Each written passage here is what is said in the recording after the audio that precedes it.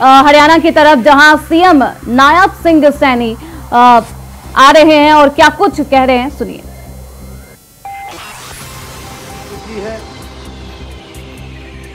कि आप सब लोग एक व्यक्ति नहीं बैठा है यहाँ पर। आपके पीछे एक बड़ी शक्ति है। हमारे समाज की शक्ति है। हमारी धार्मिक संस्थाओं की शक्ति है। हमारे जो प्रबुद्ध जन हैं, उन लोगों की शक्ति है जो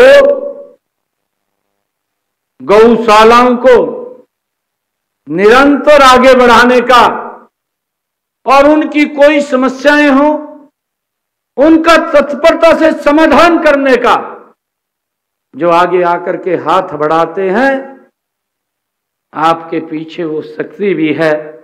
मैं उनको भी प्रणाम करता हूँ और उनका भी दिल से धन्यवाद करता हूँ।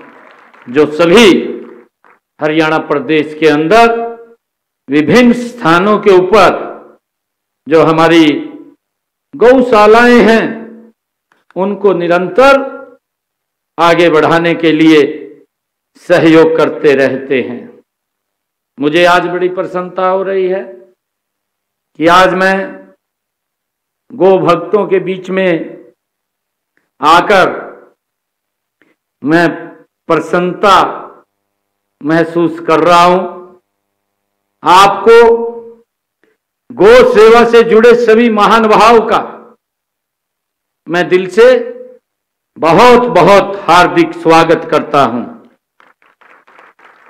मुझे ये खुशी है कि आज मंच पर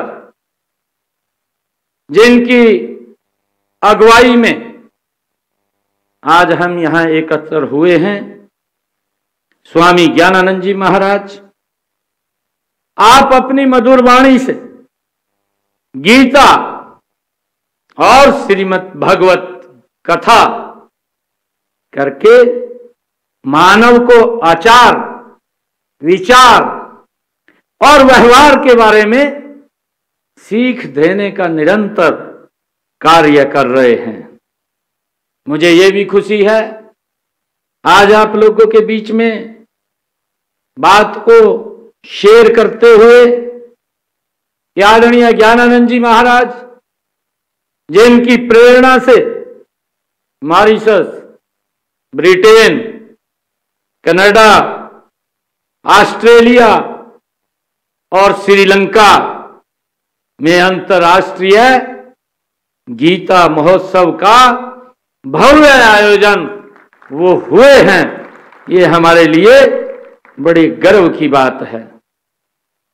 कुरुक्षेत्र में हर साल आयोजित तो होने वाले अंतर्राष्ट्रीय गीता महोत्सव में आपकी सक्रिय भागीदारी और मार्गदर्शन हम सबको मिलता है।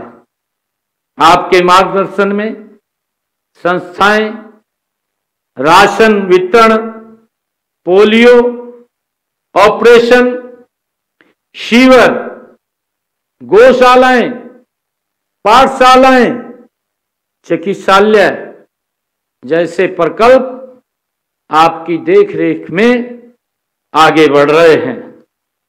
आप देश विदेश में भारतीय मूल्यों और संस्कारों का प्रचार प्रसार गति से, सरल तरीके से आप कर रहे हैं। आपके साथ साथ यहाँ उपस्थित मैं सभी गौ भक्तों का दिल से बहुत बहुत अभिनंदन करता हूँ। आप सबका स्वागत करता हूँ। मुझे ये खुशी है कि हमारे देश और समाज में गाय आदि काल से ही पूजनीय है।